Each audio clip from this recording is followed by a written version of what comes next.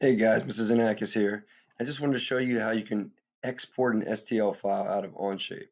So once you have the part and you're in the part studio that you want to, um, you're ready to print, first thing you do is export this file into an STL file to get it ready for printing.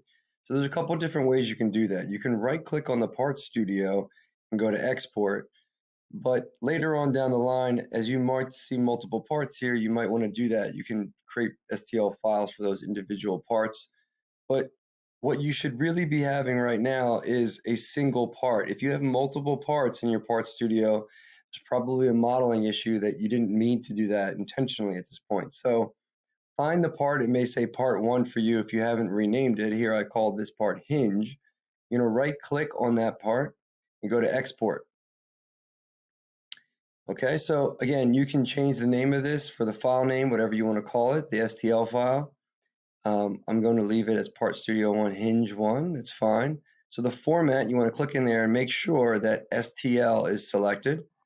it will be binary and that's fine. The units are important. Make sure that you select millimeter. Millimeter needs to be the default units because that is the standard base unit for most 3D printers, including ours.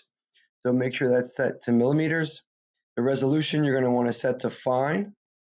We're going to give it the best resolution quality that we want that we can have for the printer. And your options are to put this as a separate tab or do something else differently with it. Really, we want to just download it. We're looking to transfer this file and download it. So go ahead and hit OK. And then that will download to your either to your downloads folder, either on your Chromebook or on the PC that you're working on at the time.